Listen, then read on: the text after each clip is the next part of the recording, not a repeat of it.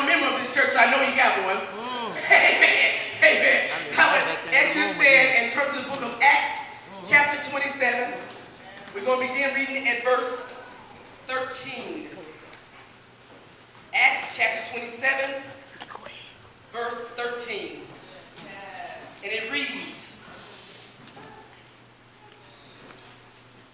Your page is still turning. Man.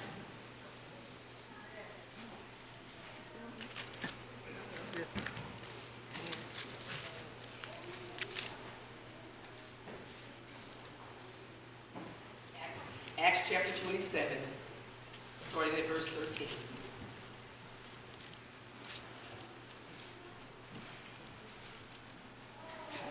Amen. And we can wait because it's important, All it's right. important that we read it for ourselves. All right. Amen. Don't assume that I'm reading it right. All right. Amen. Man. Amen. It reads, When a gentle south wind began to blow, they thought they had obtained what they wanted, so they weighed an anchor and sailed along the shore of Crete. Before long, a wind of a hurricane force, called the northeaster, swept down from the island.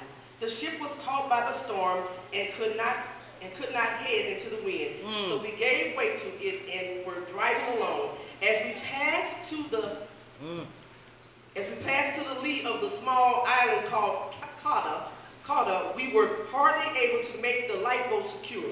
When the men had hoisted it aboard, they passed ropes under the ship itself to hold it together. Hmm. Fearing that they would run aground on the sandbars of Cyprus, they lowered the net anchor and let the ship be driven along. We took such a violent battering from the storm that the next day they began to throw the cargo overboard. Right. On the third day, they threw the ship a tackle overboard with their own hands. When neither the sun nor stars appeared for mm. many days, the, many days, and the storm continued raging, we finally gave up all hope of being saved. Hmm. After the men had gone on a long time without food, Paul stood up before them and said, Men, you should have taken my advice not to sail from Crete. Hmm. Then you would have been spared yourselves this damage and loss. But now I urge you to keep your courage, because not one of you will be lost. Only the ship will be destroyed. All right. Amen. Amen. May the Lord have a blessing to the mm. hearers and especially the doers of his holy word. All right. All right. Mm. Just for a few minutes, I would like to talk to you about I gotta believe God and not what I see. All right. I've got to believe God All right. and not what I see. Ah. We are four months into the year of 2010. Amen. And I know back, uh, 2011, my bad, 2011. And I remember, back, you know, at the end of 2010, like always, most of us, if not everybody in this room, the tradition is we start making New Year's resolutions Yeah, about yeah. what we're going to do and how we're going to do it and where we're going to go and how we're going to get there. We start making all these promises about the changes that we're going to make in our life. Right. Amen. All right. Then the next thing you know, we find ourselves as the days and months progress that some of those things that we said we were going to do Ha. did not happen or they are not happening. All right, Amen. all right, Amen. all right. We, you know, we start thinking that, wait a minute, this year has got to be better than last year. Yeah, because some of yeah, the things yeah. that I was experiencing last year, I'm still experiencing this year. Amen. Amen. I'm going to get a, I'm going to be a better person. I'm going to start praying more. I'm going to do some of the attitudes I have, you know. we Yeah. start saying all of those things because, because in 2010, we Yeah. made a resolution as Yeah. to what changes we were going to make in our lives. All right, You know, all right. how many of us made that resolution we were going to lose 10 pounds, 15 pounds, 20 pounds? And you look around and you still got 20 pounds. Some of us got 30 pounds now. Hello. All right. Just from December, Thank you. amen, Yeah, to yeah, April. yeah, yeah, amen. We yeah. made that resolution. I'm going to start exercising. I'm going to go to the gym. I'm going to join one. Amen. Miss Jackie, wait, wait, she made that resolution and she did it. Amen. All right, all amen. right. So we're making those resolutions about what Yeah. we're going to do. And a lot of times they were just talk. Yeah. Yeah. Amen. And we didn't follow through. Right. Amen. I'm going to be a better wife. I'm going to be a better husband. I'm going to be a better employee. These are some of the resolutions that we made in 2010. And we find